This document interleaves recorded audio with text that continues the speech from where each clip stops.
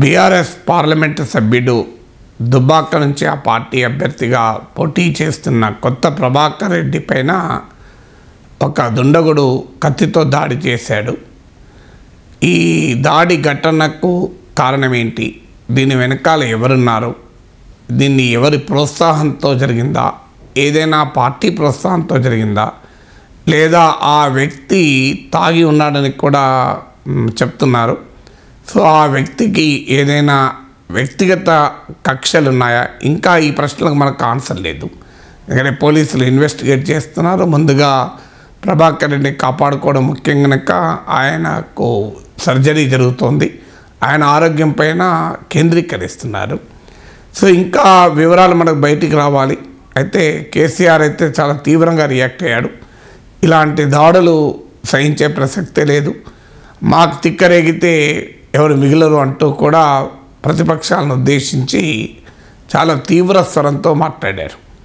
So ఇప్పటి వరకు ఈ దాడి పైన ఉన్న వివరాలైతే మనకు టీవీ కెమెరాల్లో కనబడుతున్నదే తప్ప నిర్దిష్టంగా ఇంకా విచారణ పూర్తి కాంది మనకు తెలియదు. అయితే ప్రభాకర్ రెడ్డి దుబ్బాకలో ఎన్నికల ప్రచారంలో ఉండగా ఈ దాడి జరిగిందని. ఎందుకంటే ఎన్నికల ప్రచారంలో ఎవరైనా నాయకులు వారి భద్రత వలనరబుల్గా ఉంటుంది. నార్మల్ టైం వేరు ఎలక్షన్ క్యాంపెయిన్ టైం వేరు. ఎలక్షన్ క్యాంపెయిన్ టైంలో ప్రజలతో మమేకమవుతారు అన్షెడ్యూల్డ్ విజిట్స్ ఉంటాయి. అంటే ముందు ప్రణాళికాబద్ధంగా మా అనుకోని పోరు చాలా చోటికి వెళ్తూ ఉంటారు ఇంటికి వెళ్తారు. వెంటనే పక్కింటి వాళ్ళు పిలిస్తే అక్కడికి వెళ్తారు. ఇలా అన్ప్లాన్డ్ విజిట్స్ అన్షెడ్యూల్డ్ విజిట్స్ ఉంటాయి. వందలాది జనం ఉంటారు. అందువల్ల సెక్యూరిటీ నైట్ మేర్ ఒక రకంగా. చాలా సెక్యూరిటీని మెయింటైన్ చేయాలంటే మామూలు విషయం కాదు. అందులో ప్రచారము అనేది ఒక నియోజకవర్గంలో కాదు నూట పంతొమ్మిది నియోజకవర్గాల్లో అన్ని పార్టీల అభ్యర్థులు ప్రచారం చేస్తూ ఉంటారు. అందువల్ల ఇలాంటి దాడి జరిగే ప్రమాదాలు అవకాశాలు ఎక్కువ ఉంటాయి. కానీ తెలంగాణలో ఎప్పుడు జరగలేదు ఇది. ఇలాంటి హింస అనేది తెలంగాణ ఎన్నికలకు మనకు తెలియని అంశం. అందువల్ల దీన్ని ఎట్టి పరిస్థితుల్లో అంగీకరించకూడదు. ప్రజాస్వామ్యంలో హింసకు తావులేదు రాజకీయ పార్టీలు తమ తమ అభిప్రాయాలు చెప్పుకుంటారు తమ మేనిఫెస్టోలు చెప్పుకుంటారు.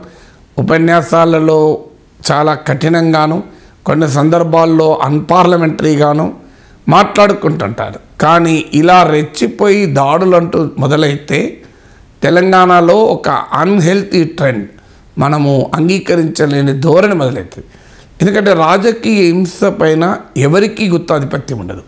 Nobody has monopoly over political violence మనం కొన్ని రాష్ట్రాలు చూస్తున్నాం. బెంగాల్ లాంటి రాష్ట్రంలో ఎలాంటి భయంకరమైన పరిస్థితులు ఉన్నాయో చూసాం త్రిపురలో ఎలాంటి పరిస్థితులు ఉన్నాయో చూసాం కొన్ని నార్త్ ఇండియన్ స్టేట్స్లో కొన్ని ఏరియాస్లో ఏ రకమైన పరిస్థితులు ఉన్నాయో చూసాం ఫార్చునేట్లీ మనకు ఈవెన్ మన పొరుగునున్న ఆంధ్రప్రదేశ్లో కూడా స్థానిక సంస్థల సమయంలో స్థానిక ఎన్నిక లోకల్ బాడీ సెలక్షన్స్లో జరిగి చూశాం.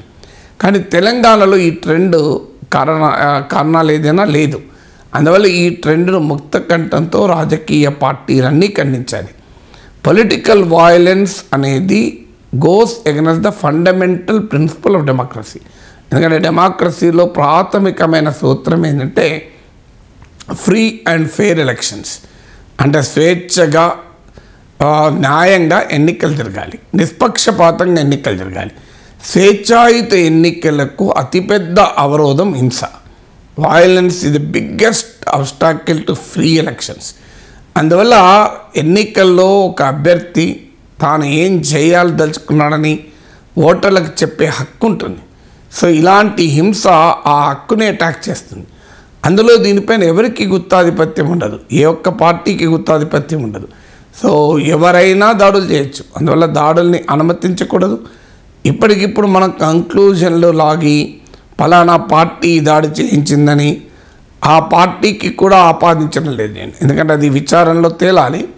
ఆ పార్టీకి చెందిన వ్యక్తి చేసినా కొన్ని సందర్భాల్లో మన ఆ వ్యక్తినే ఖండించాలి తప్ప పార్టీనే ఖండించకూడదు. Unless there is a pattern of violence ఇక్కడ కొన్ని సందర్భాల్లో ఆయా పా రాజకీయ పార్టీల నాయకులు ఉద్వేగభరిత ప్రసంగాల వల్ల కింది క్యాడరు ఛార్జ్ అయిపోయి పార్టీ సానుభూతి పనులు అభిమానులు అవాంఛనీయమైనటువంటి చర్యలకు పాల్పడే అవకాశం కూడా ఉంది. అందువల్ల ఇప్పుడు దాడి చేసిన వ్యక్తి ఎవరు? అతని వెనకాలన్న మోటివ్స్ ఏంటివి? దీని వెనకాల ఏదైనా కాన్స్పిరసీ యాంగిల్ ఉందా? కుట్రకోణం ఉందా? అన్ అనే ఇలాంటి వాటిని నిష్పక్షపాతంగా విచారించకుండా ఈ వాయిలెన్స్ను కూడా మళ్ళీ రాజకీయ ప్రయోజనాల కొరకు పరస్పరం రెచ్చగొట్టుకోవటానికి ఉపయోగిస్తే ఇది చాలా ప్రమాదకరం. అందువల్ల శాంతి భద్రతలు మెయింటైన్ చేయడం అనేది చాలా చాలా కీలకం. ఎందుకంటే ఈ ఘటనలో ఒక ఒక పార్టీలు నిరాధారమైన ఆరోపణలు కనుక చేసుకుంటే నిరాధారమైన ఆరోపణలే కాదు కవ్వించే రీతిలో నువ్వెంత అని బలాదూర్ అని కనుక మాట్లాడుకుంటే కింద సానుభూతి పనులు కార్యకర్తలు రెచ్చిపోయి ఇలాంటి దుర్ ఆ ఘటనలకు పాల్పడే ప్రమాదం కూడా ఉంటుంది. అందువల్ల అందరిపైన బాధ్యత ఉంటుంది అన్ని పార్టీలపైన బాధ్యత ఉంటుంది. తెలంగాణలో రాజకీయ హింసకు లే- చరిత్ర లేదు. ఇలాంటి దుర్మార్గాల్ని ఎవరూ అంగీకరించకూడదు. ప్రభాకర్ రెడ్డి తొందరగా కోలుకోవాలని కోరుకుందాం. ఆయన పైన జరిగిన దాడిని రాజకీయాలకు అతీతంగా పార్టీలన్నీ ఖండించాలి పౌర సమాజము ఖండించాలి.